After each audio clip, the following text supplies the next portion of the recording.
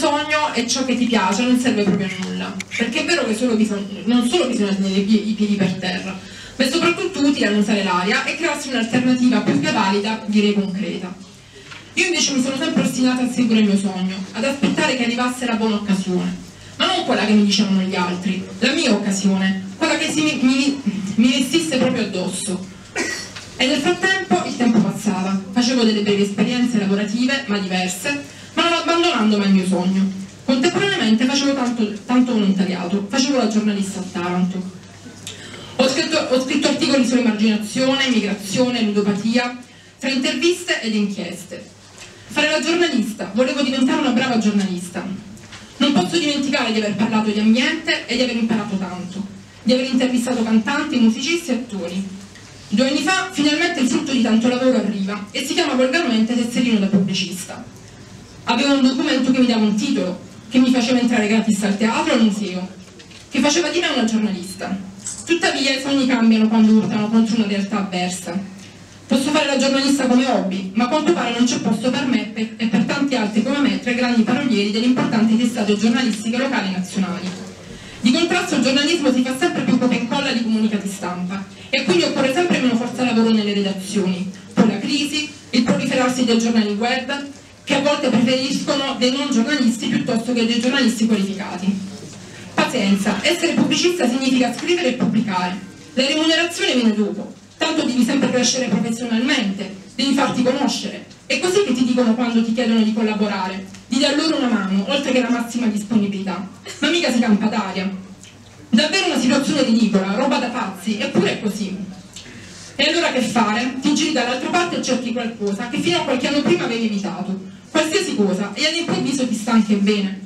Ovvio che sopraggiungono sensi di colpa. Se una volta per fare l'eroina e giocare di impulso di cuore mi sono bruciata la mia occasione se non sono abbastanza performante, perché non so bene l'inglese, perché non ho specializzazione di spicco. E in questa giungla dove cresce l'offerta e aumenta la domanda, devi essere sempre la migliore. Le devi avere tutte. Gli annunci di lavoro te le chiedono tutte. Eppure quando ti guardi intorno, volgendoti a qualcuno dei tuoi colleghi che lavora, non è che sia proprio una cima. Ma, ma preferisci non pensarci, come abbia fatto a prendere il posto di addetto stampa di, quel, eh, di quell'ente pubblico piuttosto che di quell'assessore. Fortuna che c'è la passione, solo quella ti fa andare avanti, perché se getti la spugna, anche solo per un po', l'ordine ti cancella dall'albo per mancanza di attività e ti manda una raccomandata che avrebbe per oggetto cancellazione per inattività, cioè non sei più una giornalista. Come se, fosse, come se fosse colpa mia se fare giornalisti oggi significa essere mal pagati o non pagati affatto.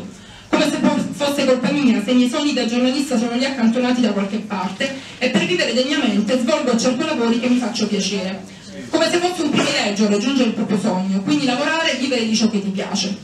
Una persona che scrive quasi gratis per una testata giornalistica consegna annualmente 100 euro per conservare il titolo da pubblicista, ma non per conservare il suo lavoro. Una persona che non ha trovato nemmeno un lavoro mal pagato nel settore giornalistico non può più conservare il titolo. Perché la risposta sarebbe, no scusi, ci dispiace, lei è inattivo, non scrive, non pubblica, non è pagato. Le invitiamo a restituire a stretto giro la posta alla tessera professionale. Ora la nuova legge dice così, cioè se non scrivi non sei più una giornalista.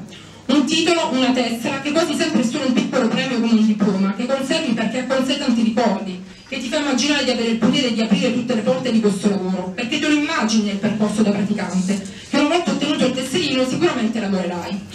Poi però mica ti tolgono il diploma da ragioniere se tu un giorno decidi di fare il medico o il tagliaboschi. Perché cancellare i sogni e i titoli di persone che hanno conquistato quel tesserino da pubblicista quasi sempre nel cuore della giovinezza, tra sacrifici e sogni, amori e dolori, errori e scoop? I pubblicisti non dovrebbero avere le stesse responsabilità dei professionisti, così come non dovrebbero avere gli stessi obblighi e magari nemmeno le stesse tutele. Cosa cambierà quando ci saranno centinaia di pubblicisti in meno iscritti all'ordine? Non cambierà nulla, tranne che le casse dell'ordine saranno più vuote e probabilmente si potrebbe pensare di aumentare la quota annuale dei sopravvissuti e ci saranno tanti sogni morti, accatastati da qualche parte come vecchi giornali su cui abbiamo sudato da giovani.